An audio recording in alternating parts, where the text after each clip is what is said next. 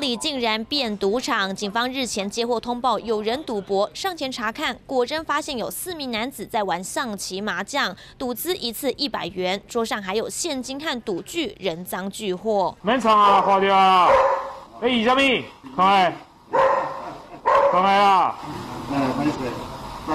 看到啊啦，都看到啊啦，坐坐坐，免造桥。当场查获赌客四人，正在公庙博弈象棋麻将，并查扣赌资六千六百元，赌具象棋麻将一副。